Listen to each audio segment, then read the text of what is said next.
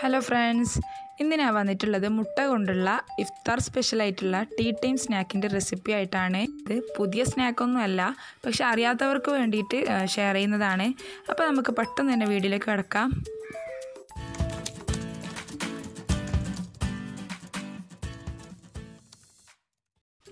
അപ്പോൾ ഞാനിവിടെ ഒമ്പത് മുട്ട എടുത്തിട്ടുണ്ട്. ഇനി നമുക്കിത് ഒന്ന് ബോയിൽ ചെയ്തെടുക്കണം.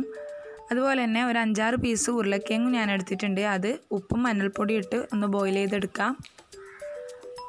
അടുത്തതായിട്ട് ഉള്ളി പച്ചമുളക് കറിവേപ്പില മല്ലിച്ചപ്പ് മുളക് പൊടി കുരുമുളക് പൊടി ആവശ്യത്തിനുള്ള ഉപ്പ് ചിക്കൻ മസാല എന്നിങ്ങനെയുള്ള മസാല ഐറ്റംസൊക്കെ ഞാനൊന്ന് ഫ്രൈ ചെയ്തെടുക്കുന്നുണ്ട്. ജസ്റ്റ് താവയിലിട്ടിട്ട്.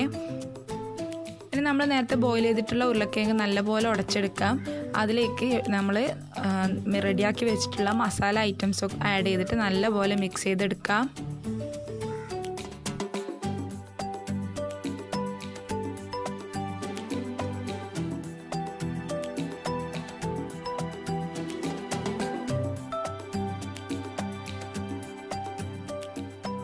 നമ്മുടെ ഉരുളക്കിഴങ്ങിന്റെ മിക്സ് നല്ലോണം മിക്സ് ചെയ്തെടുത്തിട്ടുണ്ട്.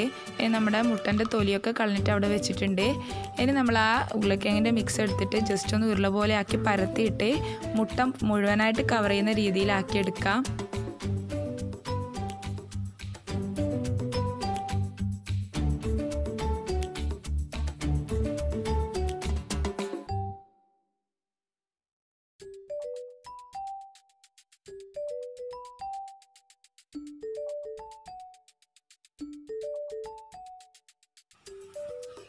മുഴുവനായിട്ടുള്ള മുട്ടയും അതിന് കവർ ചെയ്തിട്ടുള്ള ഉരുളക്കിഴങ്ങിന്റെ മിക്സ് ഉള്ളതുകൊണ്ട് തന്നെ വലിയ സൈസിലാണ് ഈ ഒരു സ്നാക്ക് ഉണ്ടാവുക.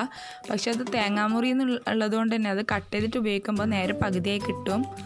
അപ്പോൾ നമ്മളെല്ലാം ഒരു റൗണ്ട് ഷേപ്പിലാക്കി എടുത്തിട്ടുണ്ട്. ഇനി നമുക്കിവിടെ ബ്രെഡ് ക്രംസും മുട്ടയും റെഡിയാക്കി എടുക്കണം. ഇനി അതിലേക്ക് ഈ ഓരോ ഉരുളകളും മുട്ടയിൽ മുക്കിയിട്ട് ബ്രെഡ് ക്രംസും കൂടി ആക്കിയിട്ടാണ് നമ്മൾ ഫ്രൈ ചെയ്തെടുക്കാൻ പോകുന്നത്.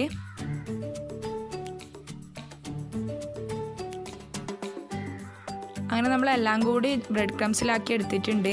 ഇനി നമുക്ക് നല്ല പോലെ തിളച്ച എണ്ണയിലേക്ക് എടുത്തിട്ട് ഇതൊന്ന് ഫ്രൈ ചെയ്തെടുക്കണം.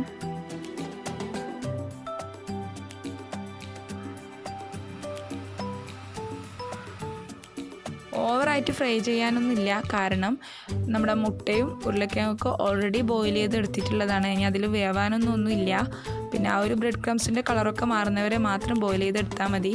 അപ്പോൾ നമ്മുടെ ഈ ഒരു സ്നാക്ക് ഇവിടെ റെഡി ആയിട്ടുണ്ട്. ഈ ഒരു ഐറ്റം എല്ലാവരും ഒന്ന് ട്രൈ ചെയ്ത് നോക്കണം. പിന്നെ ഇന്നത്തെ ഒരു വീഡിയോ എല്ലാവർക്കും ഇഷ്ടമായിട്ടുണ്ടാകുമെന്ന് വിചാരിക്കുന്നു.